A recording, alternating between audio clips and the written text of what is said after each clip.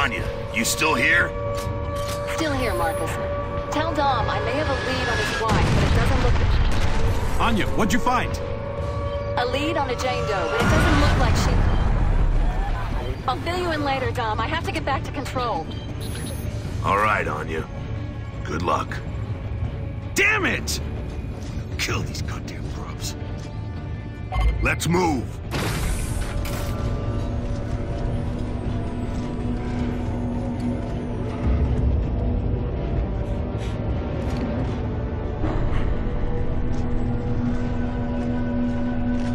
Ty, good to see you.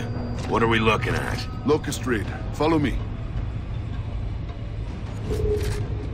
Follow me is pretty generic action game dialogue and you don't actually have to follow anyone when they say follow me, but sometimes it is beneficial because although this game is linear, you can still get lost and the AI will go in the proper direction. They'll often lead you right to the goal just in case you uh, have no idea where the fuck you're going. Which happened to me quite a few times when I was first playing the game, especially in this hospital.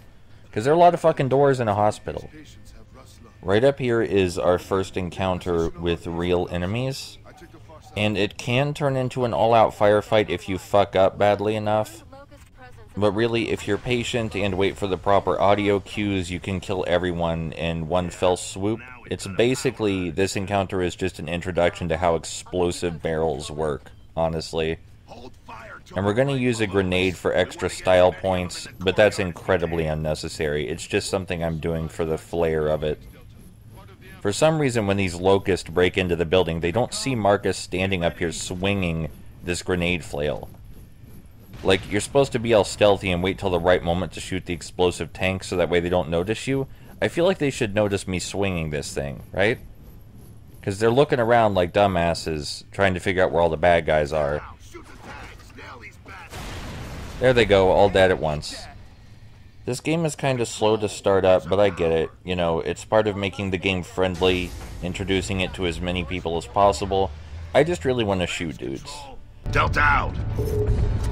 What'd you say these guys got? Rust lung, imulsion sickness. Cases have been popping up all over since the Lightmass bombing. It's a horrible way for a warrior to die. Uh, contagious? They say it's not, but I'd keep my distance. No argument here. The Lightmass bombing is what they used to try and kill all the Locust in the previous game. It didn't work out, but it did get rid of the Kryll, which is an enemy type that we won't see in this game as a result. So here's our first enemies. The standard gun we have is the Lancer. Fires in a really consistent stream. Lots of bullets fly toward the enemy. Not terribly accurate, but at close range, it's great, because you can pump the enemy full of so many bullets, it doesn't matter where you fucking shoot them at. Also, it has a chainsaw attached to it. Now, personally, I prefer the Locust rifle we just picked up. It fires slower, but it seems more accurate, and I can't tell if it does more or less damage than the Lancer, but it's not really important. What matters is that I like it more. Five nine, hold your fire. There are gears and civilians in this building. Roger that. Keep us posted. By keep us posted, do you want an update every time I kill a single locust or only when when they're all gone? I just want to know. So, even though it's a good idea to stay in cover early on in the game up until midway through the game, you can leave cover a lot and just slowly approach enemies and shoot them to fucking death. Anyway, I promised I'd explain active reload. What active reload is, is whenever you press the reload button, there's a little mini game.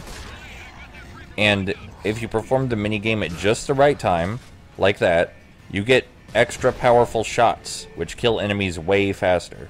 So active reload makes the game way easier if you pull it off properly. However, if you completely flub active reload and stop the timer when it's in the gray, then... Oh, hold on. Gotta take care of this guy good and proper. If you completely fuck up the active reload minigame and press the reload when it's in the in the black, then uh, then you just jam the gun. And that sucks. Something important to note is that your AI buddies are not useless. Their bullets do hurt enemies, and later in the game, in specific circumstances, you can just let your AI take out uh, all the enemies for you if you want. That's an option. This little cover dance these guys are doing doesn't impress me. I've seen some good cover dancing before in Uncharted, and this is fucking nothing compared to that. So what we're doing right here is you can press the Y button to finish off enemies with more flourish. It doesn't give you a bonus or anything, it just looks funny. Or looks cool, depending on your preference. You know, I'm not one to judge. So when we head out here into the courtyard, we get our first look at a Reaver, which is a fairly standard mid-boss enemy. We kill a couple of these locusts and then the Reaver appears, and it's supposed to be really threatening looking and kind of cinematic. It flies off after a little bit so that way you don't have to fight it yet, but you fight plenty of them later. But instead of actually looking at the Reaver or taking this cinematic moment seriously, we're going to run toward this guy as fast as possible and punch the living fuck out of him. And by the time we're done punching him, the Reaver will have flown off, so we didn't even get to look at it. But the most important thing is that we punched that Locust to death. That is what we got out of the situation. That's what matters. The encounters in this hospital are kind of easy, but, you know, they're introducing you to the idea of using the environment as cover. And there's a lot of different environmental objects to use as cover in this hospital. So even though as someone who's played a cover-based shooter, this seems like nothing to me, for people new to the genre, or just, you know, normal people in general who aren't that familiar with games, this is a really good idea, this location. Really gets the player used to what's going on. So even though it's not my favorite part of the game, I do like it because it's a good teaching tool. In the original Gears of War, there's a lot more slow, atmospheric moments. This one's a lot more action-packed, and I prefer it that way just because I like shooting more. Here's the cafeteria. I love the cafeteria because flanking enemies in here is fun, even though there's only a couple of them. For some reason, Dom is scripted to say that one of the grubs falls face first into the salad, even if you shoot their face off, which I'm going to do right here. Damn, Marcus, see that? Grub went face first into the salad. I feel like he was just really, really determined to use that one-liner, regardless of whether it made any fucking sense, because its face was gone. You saw the face disappear.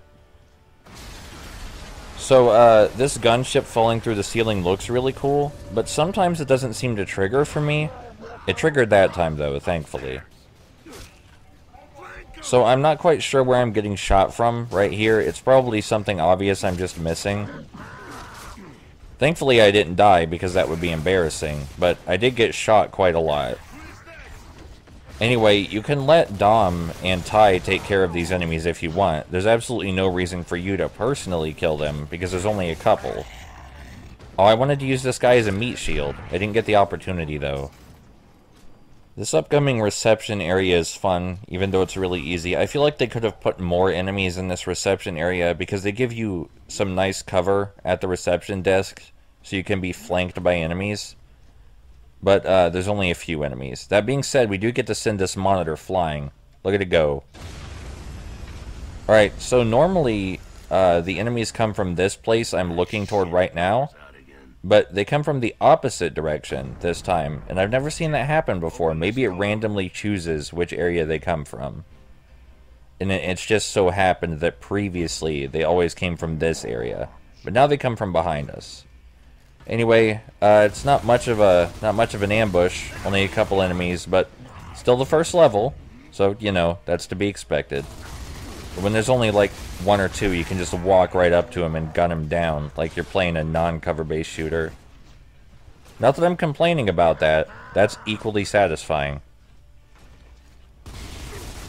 It's just uh, just these guys aren't particularly threatening, you know. And I might get a good chance here to use the chainsaw bayonet. I don't like the chainsaw bayonet because even though it looks cool, you have to rev it up before you use it, and it's kind of impractical. Oh, here we go. I much prefer doing melee with the other guns because you don't have to, you know, charge them before you do melee. We're nearly outside of the hospital now, and when we get outside of the hospital, that's where the real fun starts. So I'm pretty excited for that. Just have to wait for Jack to open the door. The hell are you doing here, Rook? Area I was guarding got too hot, Sergeant. These gears rounded me up to fight, sir. So why aren't you out there fighting? Re- reloading, sir. Still don't have that trick down. Better learn fast. Let's get out there, Delta. Grab some cover. We gotta dig in before we can get down there. Dig in before we get down there, Marcus says. Here, let me show you how it's actually done. Throw a grenade to check there's no one on the far left, and then just move on in and take cover behind this car. Flawless victory. Hey, another Reaver. It can attack us this time, but it'll go away in a moment. Yep, there it goes. Really not a threat. Later you'll have to actually fight them and they'll be a threat then, but now they're just here to look cool. Like that King Raven gunship. Looks really cool. We don't have to fight that at any point though, because it's one of ours. Alright, so, flanking the enemies through this upcoming store, kind of mindless, but really fun. The game points you directly to the store to flank the enemies, so there's no reason not to do it. It's a great opportunity for the Lancer, though. This is a situation where the Lancer absolutely fucking mows through the enemies. Look at this. Watch them all fucking fall over and die. You can take cover behind pretty much anything, by the way. Including, I don't know what this is, but it looks too small to take cover behind. It's not, though. You can totally take cover behind that. The Lancer is so good for this section. You just kind of shoot in any general area on the enemies and keep holding the button. I think that's like the fifth execution in this video. Normally you want to pick up the enemies and use them as meat shields, but it's so unnecessary during this particular segment because this is the first level. The first real level, anyway. Good job, Carmine. Saw that guy right in half. I think that was Carmine doing that. I don't have my glasses on at the moment. This is a very me me very meaty pistol we have. Picked it up off a of Locust. And I think that's all the enemies gone. See you next video.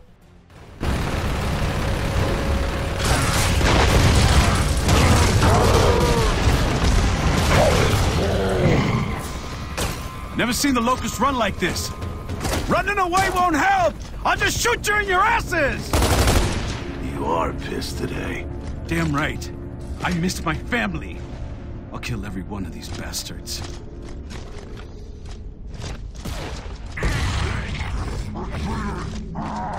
Nice work, Delta.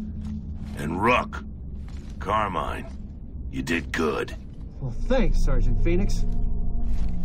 Control, this is Delta. Enemy threat eliminated. Over. Copy that, Delta. Everything okay on your end? Yeah, it was close, but I got out in time. What'd you find? I... Tell me, Anya. Don't bullshit me. The Jane Doe I mentioned? She fits the description, but... Well, looks like she was released a few days ago. We don't have any info after that. There's gotta be another lead, or... or something, right? I'm sorry, Dom. That's it. I'm sorry. Damn it! Not again! I've lost her again! Ah! God damn it! Copy that, Anya. Delta out. Dom, you okay? Just... I'll catch up with you in a sec, Marcus. All right? Yeah. Whatever you need. Guys, let's go.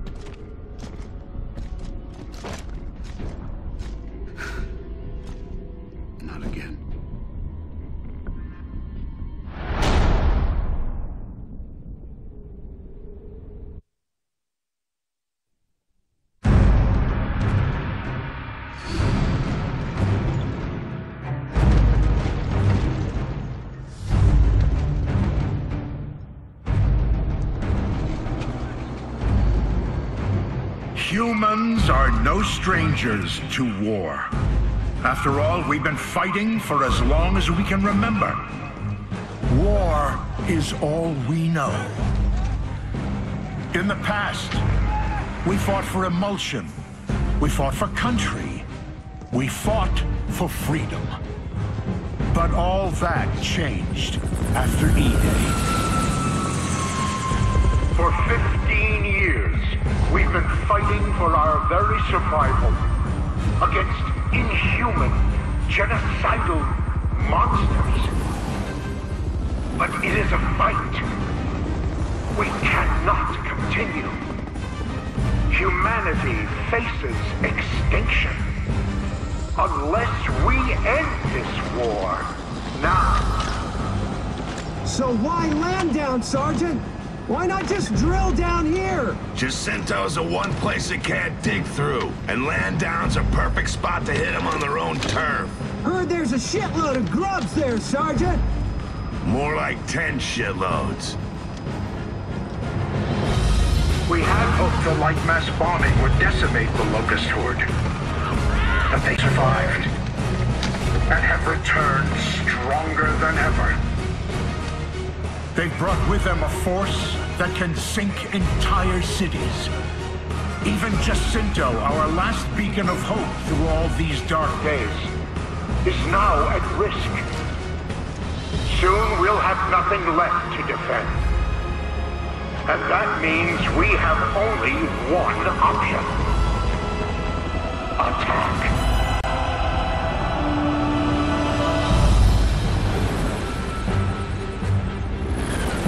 Gears, what I ask of you now is not an easy thing, but it is necessary.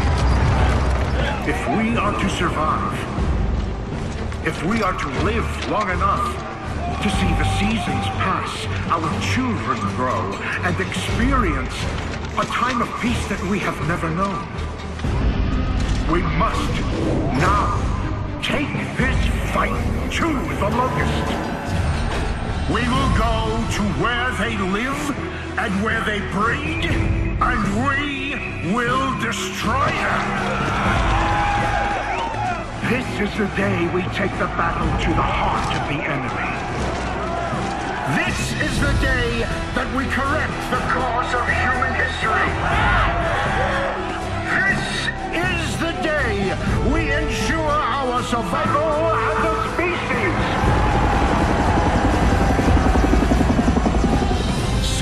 Soldiers of the Cog, my fellow Gears, go forth and bring back the hope of humanity!